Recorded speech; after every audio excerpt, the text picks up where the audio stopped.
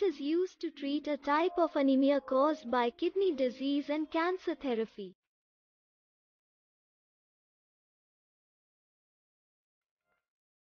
Recombinant human erythropoietin alpha works by stimulating the bone marrow to produce more red blood cells.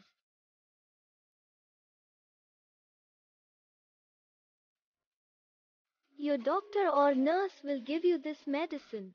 Kindly do not self-administer. Thank you.